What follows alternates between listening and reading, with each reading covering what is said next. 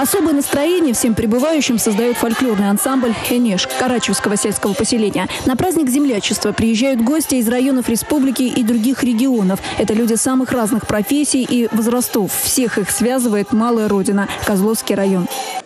Наше землячество одно из самых молодых в республике, но, я считаю, одно из самых деятельных. Хочу пожелать дальнейшего уверенного движения вперед, свершения новых, достижения новых высот и много-много добрых дел.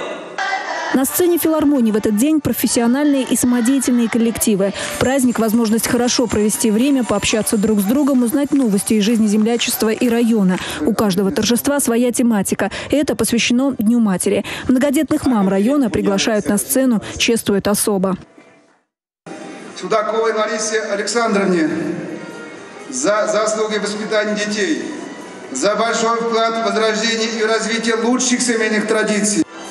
Наградами отмечают тех, кто внес весомый вклад в жизнь района и деятельность землячества. Иван Васильев, выучившись в Москве, вернулся в родную деревню. Теперь вместе с отцом поднимает сельское хозяйство. Благодарность вручают участникам строительства церкви Рождество Пресвятой Богородицы в селе Шутнерово и Сергею Посредникову, подарившему родной деревне Еметкина хоккейную коробку в миллион рублей.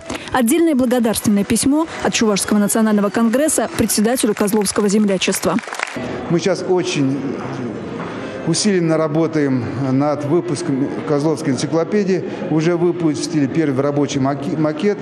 Энциклопедия включает в себя всю информацию о знатных людях, которые родились, выросли в, этом, э, в Козловском районе или работали, имеют отношение к этому району. Следующую встречу Козловское землячество рассчитывает посвятить выпуску энциклопедии. Выход издания в свет запланирован на весну будущего года.